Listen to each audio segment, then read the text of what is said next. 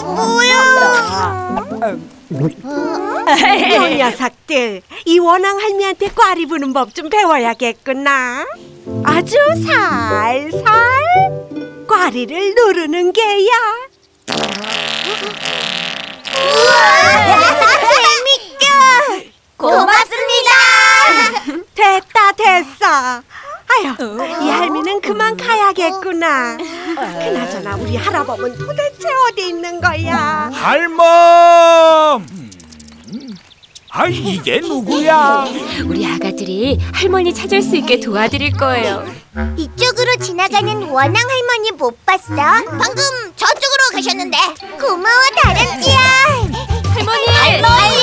할머니! 어디 계세요?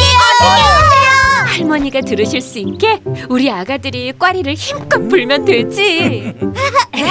재밌겠다.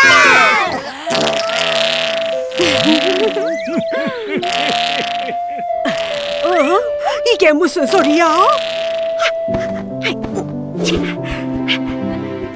아이고 할아범 어디 갔었어요? 아이 나야 할멈 찾고 있었지.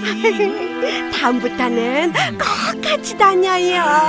그럽시다 우리.